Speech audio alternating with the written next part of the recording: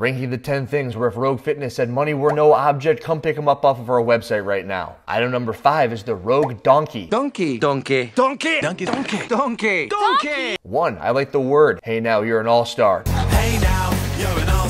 Donkey. $2,065 and it's a GHD, it's a reverse hyper, it's 500 pounds of pure steel. I'm not really sure I've seen one of these anywhere ever, but why would you want both a reverse hyper and a GHD when you could have both of them at the same damn time? What would you do if you had a million dollars? Two chicks at the same time, man. That's it? Damn straight. I'm actually looking at it now and I don't know what the add-on is, but this thing is potentially $3,700. So anywhere from 2,000 to $4,000, but I'm gonna have it either way. Damn straight.